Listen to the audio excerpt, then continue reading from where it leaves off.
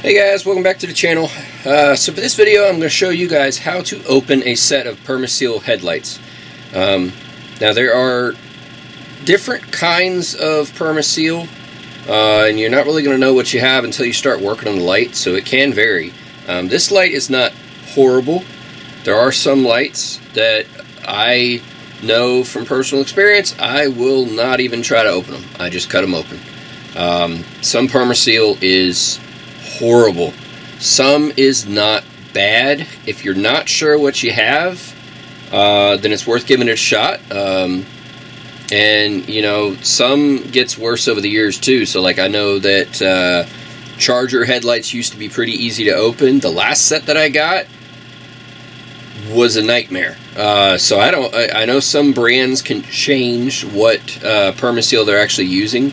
Uh, I know a lot of the new Subaru lights, the Permaseal is a nightmare. Uh, it can be opened, but you're going to really mangle your light up a good bit to open it up. So, um, you know, take this as techniques more than anything, but don't expect to have the same experience on every Permaseal light. Um, I'm going to show you the tricks that I use. I'm going to show you what you can try to do, and hopefully it works for the set that you're building but be prepared that it may not. So, uh, as far as stuff that you're going to need, uh, so obviously whatever light you're doing, this is a uh, 2015 Scion TC uh, made by Depo. Uh, you're also going to want to have a pair of gloves so you don't burn your hands because you will be needing to get these lights a little bit hotter than normal. Um, a pair of latex gloves is a good idea as well if you want to try to keep the cover clean. Um, you can put them over top of your work gloves, and that way you have heat protection and fingerprint protection. Um, you are going to be getting your hands on these lights a lot, so they are going to get a little bit dirty. Uh, one thing that I did before I try to open up these lights, I will usually go ahead and do my ceramic coating first. And the reason being, ceramic coating makes it much, much easier to clean the lights.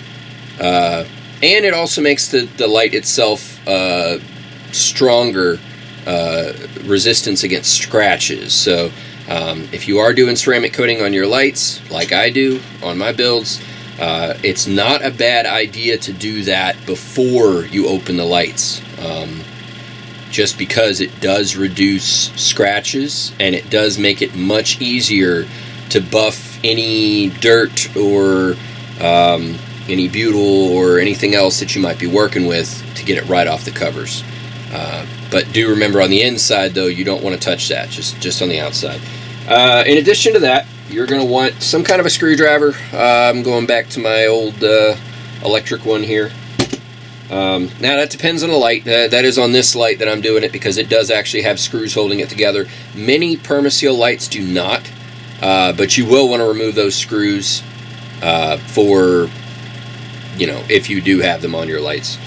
Um, a flathead screwdriver is a good idea. Uh, you know, a couple of them, probably not a bad idea. You don't want one that's huge, but you don't want one that's like super small. Um, that's the size that I'm using. I don't even know if these are 3 16ths according to Craftsman there.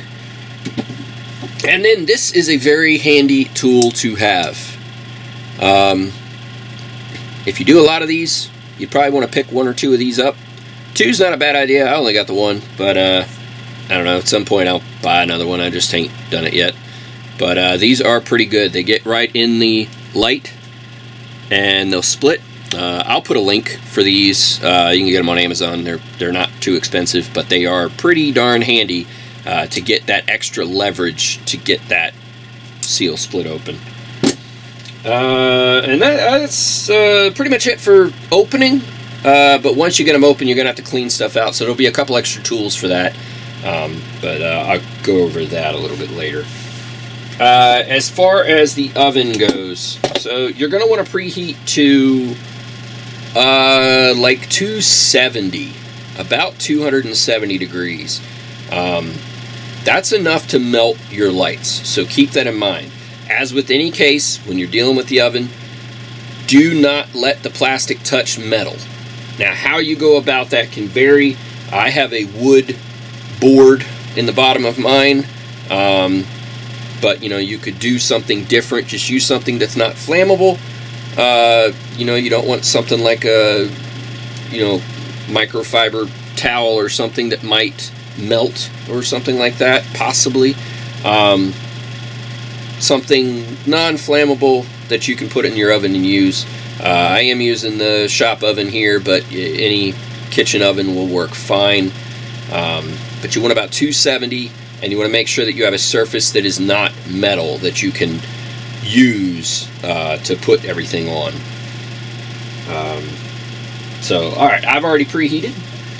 Uh, very important that you do preheat. So I'm going to go ahead and put this in.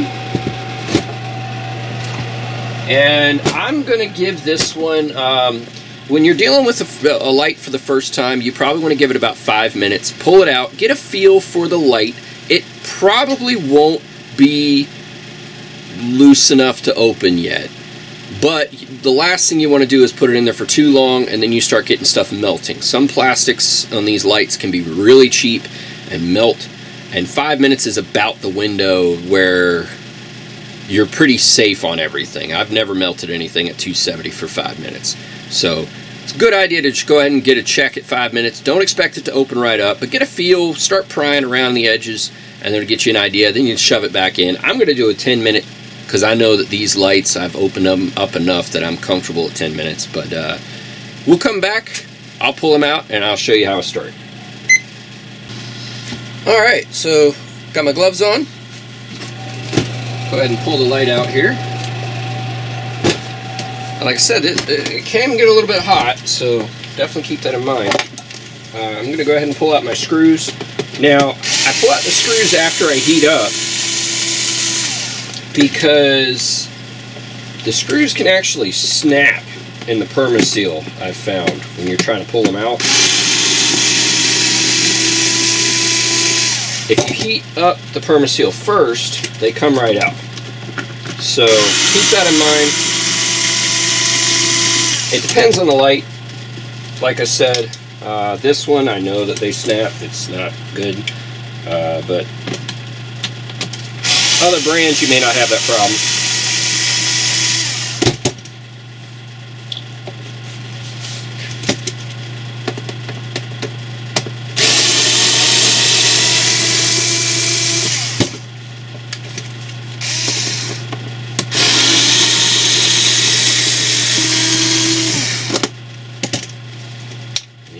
quite a few screws in them. So, alright, I got those out. Now, you're going to kind of want to go along the bottom here because the first part that you're prying on, you're going to mangle it up a little bit. So, I like to go right along the bottom here and just shove that screwdriver in there, trying to go down towards the base of that lens and pry it up a little bit. And that way you can just go down in there, around, and then force it up like this. Then you're going to take your tool here, and you're going to kind of follow it along the side. Being I have my gloves on, it's not that hot, but uh, I can feel the heat. So I can imagine if you don't have gloves, this is gonna, it's going to hurt your hands. So definitely make sure you got gloves. Be careful with the tabs as you're pulling around the side. You don't really want to break them, and they are going to be rather fragile being how hot it is. So I just kind of stick my finger in there to give myself room to pry as I work my way around. And you can see this particular light is coming open without too much fuss. And a lot of it has to do with that back plastic. On these lights, the back half of the light is a rather soft plastic, and the heat seems to work really well to soften that back side and make it release the butyl.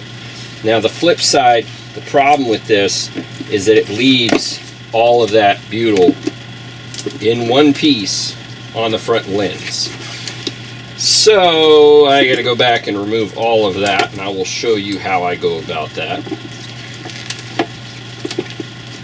If you've got a light that has a little bit more of a solid plastic for the backside, uh, you'll probably end up having some butyl go to the back, some butyl go to the front. Uh, it'll kind of split a little bit.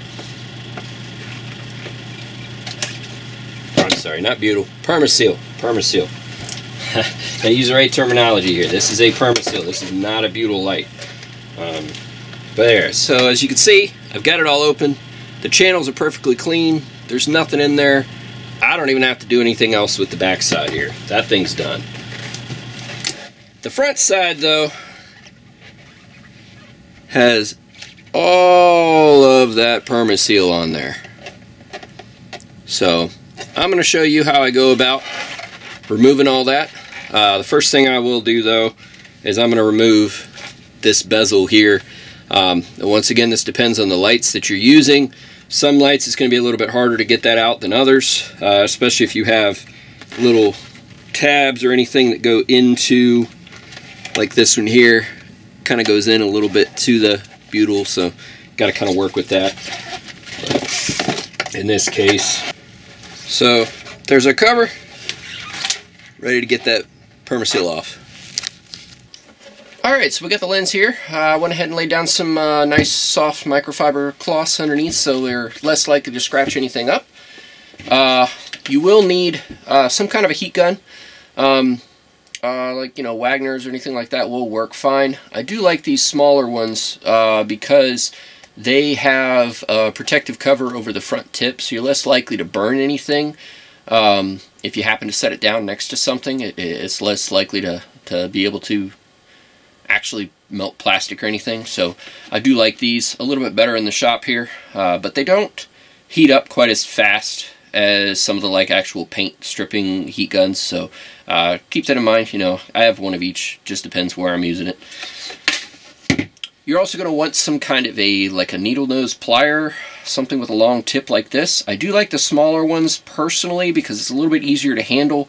Um, but you know, whatever you have similar long tip style is going to work well.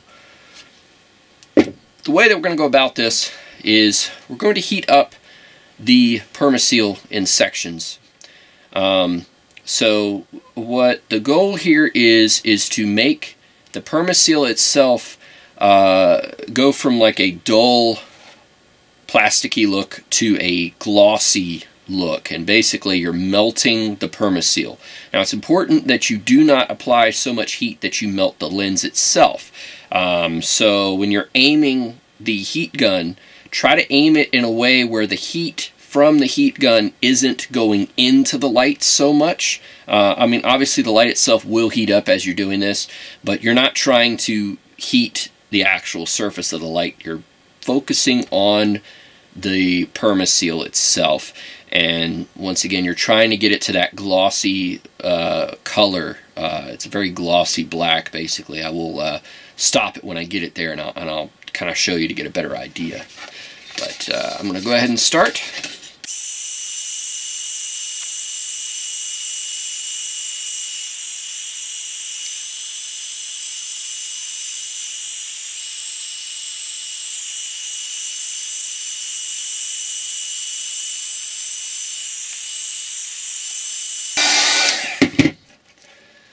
So now you can see it's kind of like a glossy black there, basically with the permaseal nice and soft, so it's a little bit easier to pull it right off of that plastic. And to start, I'm just going to kind of separate the two. And then I'm going to try to peel it up enough that I can get the pliers around it and just kind of twist it out almost like spaghetti.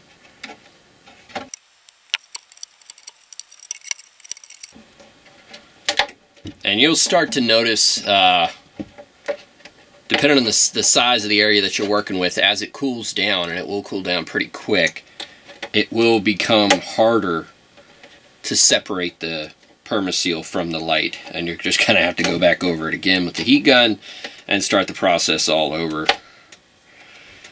And you're going to do that same process the whole way around the light. As you can see, I got this section cleared. You're talking for a full set of lights, you know, it's a couple hour job.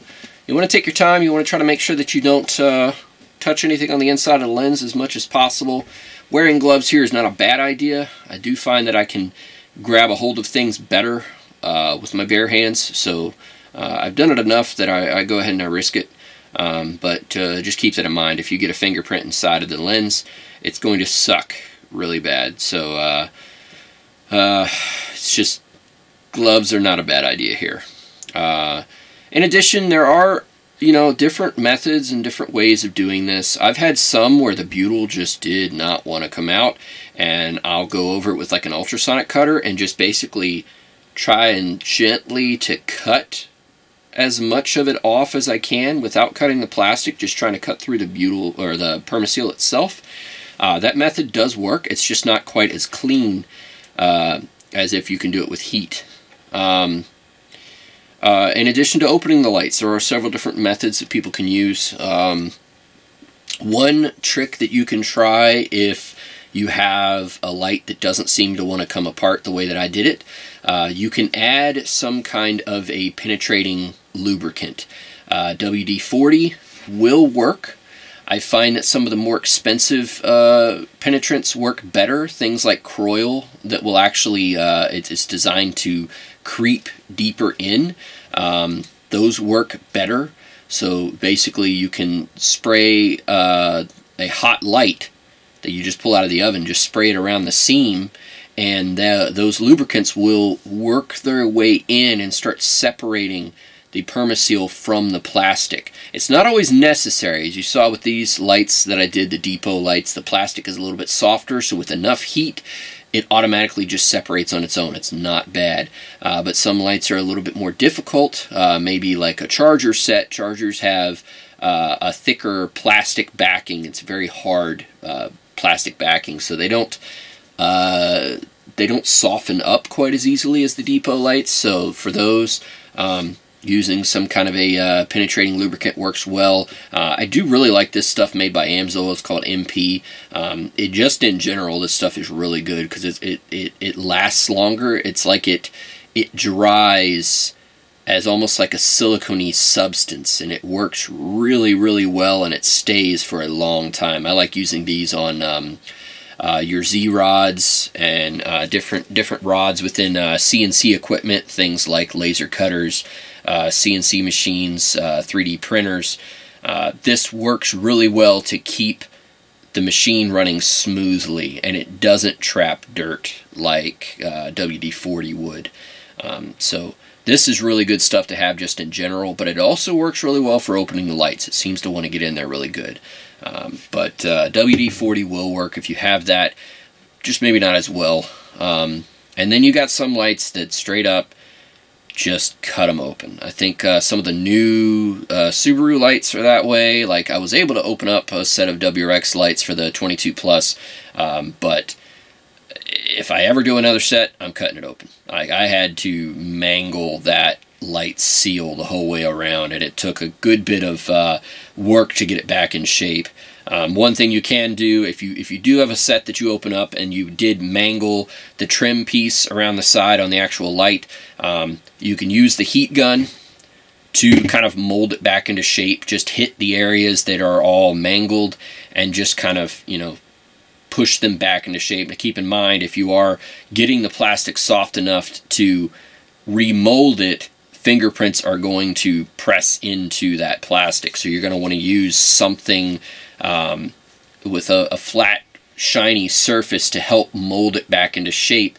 And that will actually, it will, the plastic will take the form of that surface uh, so it can actually look pretty clean. So that's a little trick. Um, I actually uh, use, uh, I've got some uh, Samsung, oh, live buds or whatever they call them, uh, and I got a little case for it, and I, I find that works really well because it's nice and smooth. Uh, but basically, a smooth plastic surface works well uh, to help reform that edge in the event that it does get mangled.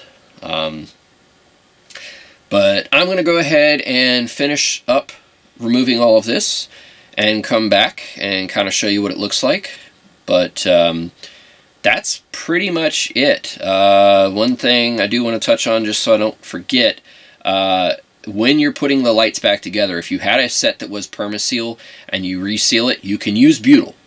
Uh, and I would recommend you use butyl because uh, it will, in general, make it easier to open it back up in the event that you need to.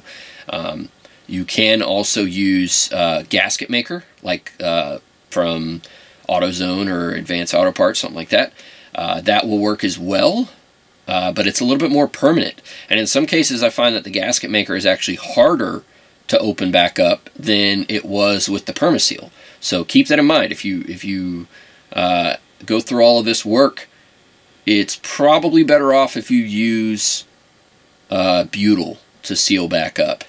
Uh, but on the flip side, if you do use butyl, if you're working on a light like this one here has screws that hold it together, so it's not a big deal. Most Permaseal lights that I've worked with don't actually use screws to hold it together.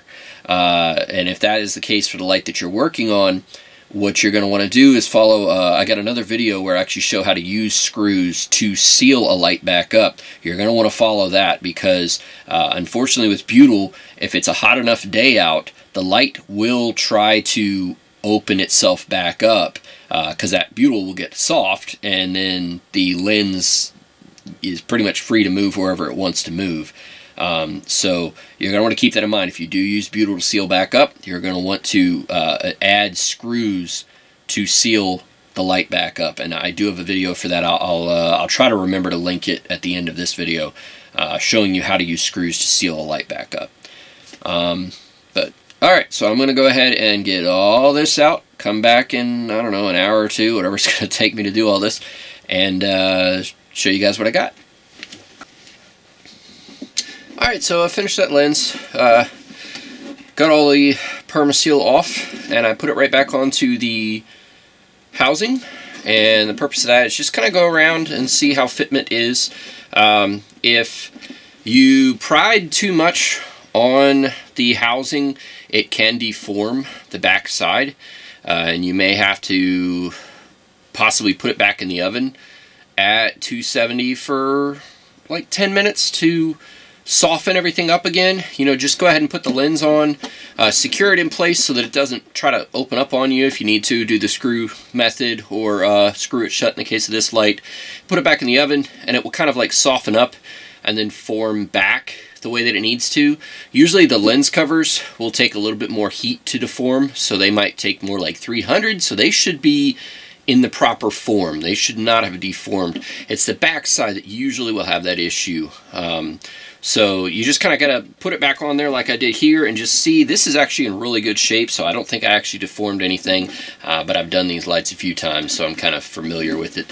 Um, in addition, I am going to go around and I can see places like right here where uh, obviously I did some prying and it kind of bent the plastic a little bit. I'm going to go back over areas like that with my heat gun and just reform them around the light so that it fits better and it will seal better uh, when I put everything back together. So you basically just want to go around just like this and you're not trying to get this quite shiny as much as just soft. So kind of like as you're going over it, just feel it.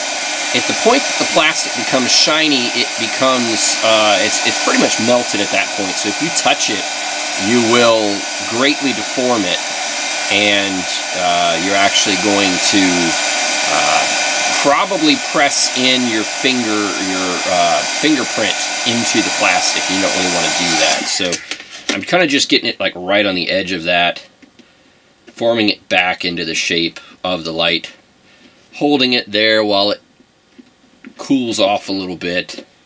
Uh, you can take the lens cover off as well if it makes it easier like this one here. It's not too hard. Just pull it right off like that. And I know like down in here, this is where I started, so uh, that part is a little bit deformed. And just like that, uh, softening up the plastic just enough that you can deform it, uh, or you can form it back into the shape that it's supposed to be and it will hold. And once again, this is why you, you ideally want to start on the bottom side, and that way anything that I did greatly deform will uh, pretty much be hidden by the fact that it's on the bottom of the light.